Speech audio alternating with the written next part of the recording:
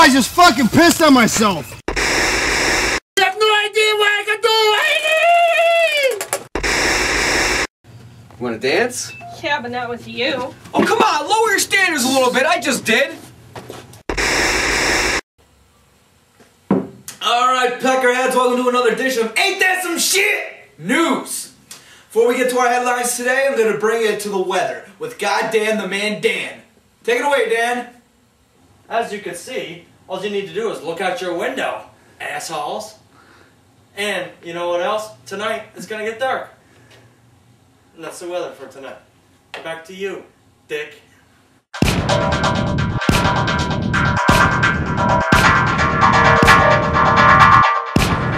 And still to come on Ain't That Some Shit News, our in-depth sports analysis from Ain't That Some Shit News' own Lovey Balls. Stay tuned.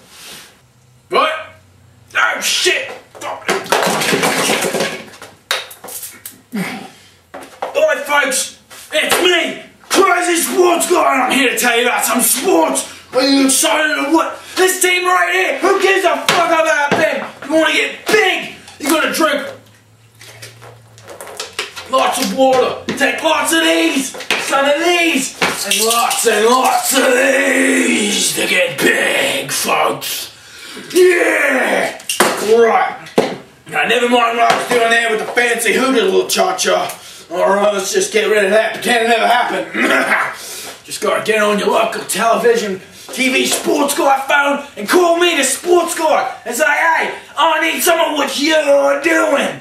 Okay, because I'm gonna be just like you. You understand what I'm smelling you? Alright then.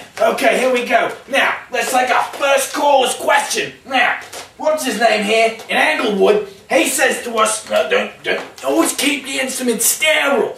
Okay? Alright, now first call, he wants to know how to make a nice, clean drive. Alright? Now, drive towards the hole. I've selected a nice little putting iron for this fella right here. And he seems to think that a three wood's gonna do the trick. Now we've got a three wood right here, folks. We've got a three wood. I suggest feather touch. He has selected power drive. So I'm gonna show you how to power drive this home. Are you fucking ready? I'm foaming at the mouth a little bit. Now start again to me. Can you feel it? All right. So here we go, folks. You're getting ready for the power drive? All right. This is perfect technique. Just watch. Keep your head low. Focus. Get your hips on a swivel and a fancy pair of pants like these. You see these pants, folks? That's what's gonna make the difference here. Make sure you're at your mom's house in the T-China hut.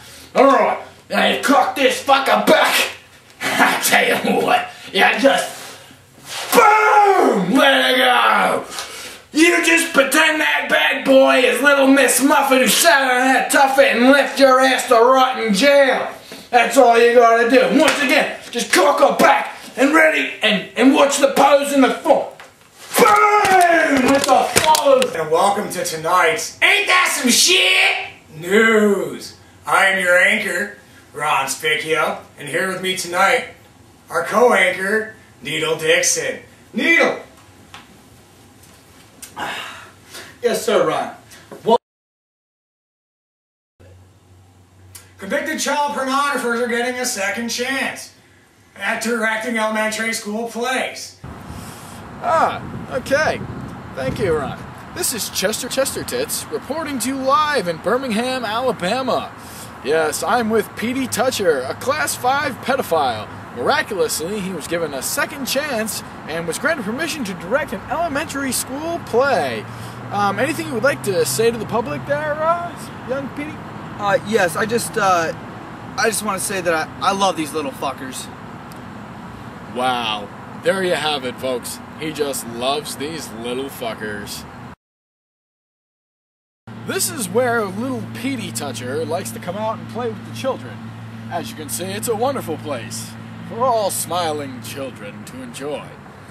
Now, who am I to judge? Pedophile? Pervert? Look at the man. Gorgeous locks of hair. Who wouldn't want their child playing with this devilish young man? And to think, they've given him a second chance. and four of the children were actually molested at this school. Go figure. Well, America, just warms your heart, doesn't it? Back to you, Ron. I'm, I'm getting nothing, dude. Does your earpiece work? My earpiece doesn't work. We don't have the budget for any earpieces. We're supposed to pretend like they're there as the acting aspect of the news. So there's no really earpieces. That is our job. That's what we do. We're anchormen. We interpret the news. We're actors. We're supposed to act like there's actually something in the ear. Please act professional. And that about wraps up our broadcast tonight. And from all of us here at the Ain't That Some Shit News family, I'd like to wish you, America, a good night.